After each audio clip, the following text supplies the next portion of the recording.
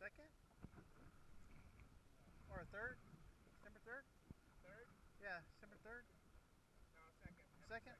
Oh, second. Monday, yeah, September second. The first Monday, right? Yeah. yeah.